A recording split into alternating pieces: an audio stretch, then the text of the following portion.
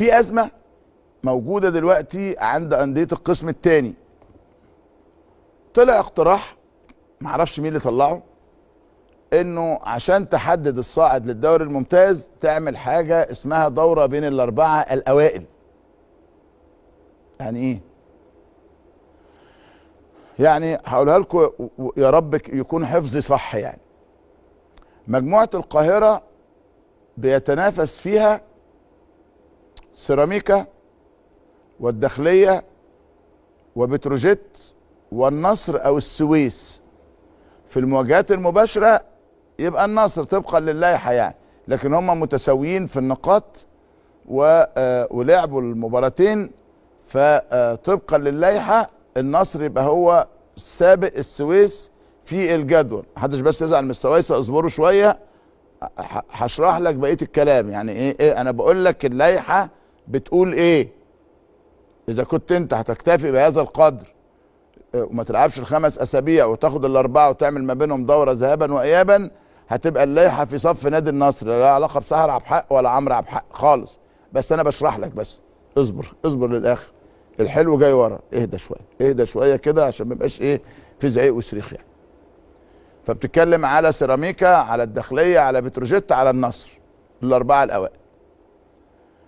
المجموعة الثانية فيها دمنهور فيها غزل المحلة فيها فاركو فيها المنصوره الأربعة دول الأوائل. المجموعة الصعيد فيها بني سويف البنك الأهلي الالومنيوم شبان قنا حلو. هناك اقتراح بإلغاء الهبوط. قال لك طالما هلغي الهبوط ما نعمل دورة رباعية في كل مجموعة ويطلع الأول. اقتراح مجرد اقتراح يعني. مجرد ما ظهر هذا الاقتراح الناس في السويس صرخوا. قال لك لا أنا متساوي في النقاط مع نادي النصر. النصر ملوش علاقة بالموضوع خالص. هو فوجئ بهذا الاقتراح يعني. وإذا حصلوا بيانات وبعدين فجأة يكيلوا الاتهامات لدكتورة سهر عبد الحق وهذا أمر آلمني شخصيا. يعني قبل ما تكيل الاتهامات اعرف بس الموضوع شكله عامل إزاي يعني. والست ملهاش علاقة. هي تصادف انها كانت رئيسة نادي النصر سيدة شديدة الاحترام وحد طرح هذا الاقتراح. نادي بني سويف رفض هذا الاقتراح. نادي سيراميكا رفض هذا الاقتراح. في البعض وافق بيه والبعض رفضوا يعني لكنه كان مجرد اقتراح. طب إيه اللي هيتعمل داخل اتحاد الكورة؟ هو عنده أزمة إنه الأندية بتطالب بإلغاء الهبوط. فقال لك الاقتراح لما جه قال لك طالما ما فيش هبوط هيبقى في تفويت. مش آسف مش تفويت بلاش تفويت يعني. مش هيبقى في حماس. فالماتشات يعني طب ما تلعب مع المتنافسين وخلاص على الصعود يعني. وجهة نظر يعني. بس وجهة نظر غير منطقية على الإطلاق. ما فيهاش منطق. خالص. ولا ليها معنى. وكل الاحترام للي قدمها. وبالتالي حاجتين هيحصلوا داخل الاتحاد. الأولى إنه الدوري هيكمل زي ما هو. لا خناقة بين السويس ولا بين النصر ولا أي حاجة الدوري سيكتمل كما هو.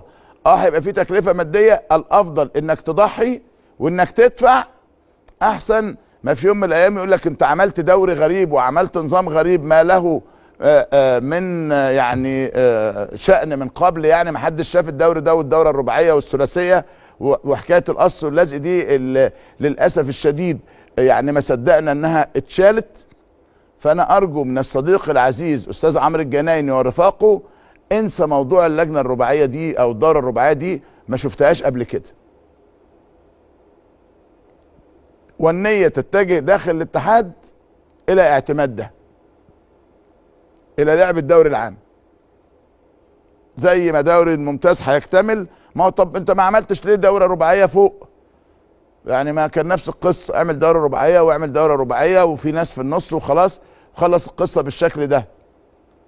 هتقول الأمر مختلف؟ لا هو هو. هتقول لي أصل فوق فيه هبوط. ما أنت لسه قررت هبوط ولا ما قررتش هبوط؟ ودي نقطة مهمة هتكلم مع حضراتكم فيها. موضوع الهبوط في القسم الثاني لم يتقرر بعد. هم عندهم حسن حظ إنه عدد الأندية قليل 12 نادي. والاتجاه زيادة عدد الأندية. وعدد الأندية زي ما قلت لكم قبل كده أوائل المجموعات في القسم الثالث هيصعدوا مباشرة إلى الممتاز به. يعني مثلا نادي قنا نادي كفر الشيخ بنبارك لهم من دلوقتي إن هم خلاص صعدوا. انتهى. وفي بعض الأندية لسه فاضل لها مباراة ولا مباراتين ولا حاجة عشان يبقى الصعود. فعندهم هيبقى عندك 12 آه، آه، آه، فريق آه، آه، موجودين هيصعدوا هيتم توزيعهم على المجاميع. لو ال 12 هي- انت طبعا هيطلع آه، الأوائل فهيبقى عندك فرصة إنك تعملهم ست اشارات في حالة إلغاء الهبوط. لكن هل تم إلغاء الهبوط؟ لحد اللحظة اللي أنا بكلمكم فيها ولحد ما يبدأ الدوري بتاع القسم الثاني محدش هيبقى عارف تم إلغاءه ولا لأ. قد يكون توجه أقرب وقد لا يتم لكن قد يكون هو التوجه الأقرب. لكن مش معنى كده إن حضرتك آه، تلغي الدوري أو تعمل دورة رباعية. فالتوجه الأقرب أو الغالبا هيتم في القسم الثاني إن الدوري هيكتمل بالكامل. الصعود خلاص هيبقى للأوائل. الهبوط ده موضوع هيبقى فيه شد وجذب واخذ رأي وقصص وحواديت ويرجعوا ويروحوا ويجوا لحد ما يستقروا على آه، آه، النظام. المؤكد إن المجموعات السنة الجاية 16 من الآخر. المؤكد صعود الأوائل مباشرة. لأنه آه، كان هناك الحقيقة وأنا مش فاهم الناس اللي بتتكلم يقول لك دول ال- العظماء بتوع اللوائح والمسابقات و و و شغلانة إنك بتجيب من على مستوى جمهورية مصر العربيه بالكامل بتجيب ثلاث فرق من 200 فريق تصعدهم.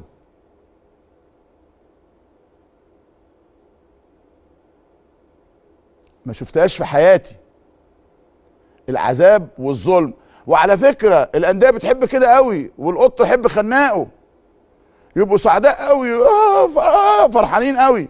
ويجي يشتكي لك ويصرخ لك ويعيط لك. لكن لما يشوفوا بيعيط من الفرحة من البهجة من السعادة يعني. ما تفهمش. يعني الحقيقة ما تفهمش. لكن يجي يقول لك النظام إحنا على فكرة مش عارفين نعمل نظام دوريات بقالنا سنوات طويلة جدا. مش عارفين لأنه مفيش نظام واضح. أنت بتيجي تقول على أنا آه هعمل السنة الجاية الدوري 12 ماشي. فيجي حد يقول لك خليه 14 حاضر. خليه 16 حاضر. ده إحنا في سنة انتخابات 18 هكذا. مش عارف تعمل نظام. وشيل ده وحط ده وحط الدوري وأجل وأعمل وخلي وسوي. مفيش أي نوع من أنواع النظام. طول ما مفيش روابط للأندية وهذه الرابطة هي التي تدير المسابقه كل سنة وأنت طيب. طول ما أنت تقول أنا هعمل دوري آه، محترفين من 24 نادي أقول لك ما ينفعش. على مستوى جمهورية مصر العربية ما ينفعش. إحنا عندنا نادي في السلوم وعندنا أندية في مرسى مطروح عندنا أندية في أسوان هيروحوا إزاي؟ هتلعب 46 أسبوع إزاي؟ ما هم 46 أسبوع. ما حدش بيسمع الكلام. ما حدش بيسمع الكلام خالص. وتيجي في الآخر تحصل القصة اللي بقول لحضرتك عليها دي. يعني. فالقصة لا محتاجة بيانات من نادي السويس ولا محتاجة حد يتكلم في هذا الأمر لأنه هذا الدوري هيكتمل. هيكتمل بمعنى هيكتمل لأنه ما ينفعش غير إنه يكتمل. والناس اللي يعني اجتهدت وقالت أربع دورة رباعية مشكورين على هذا الرأي لكنه رأي غير صائب ولا يمكن ابدا إنه يبقى موجود.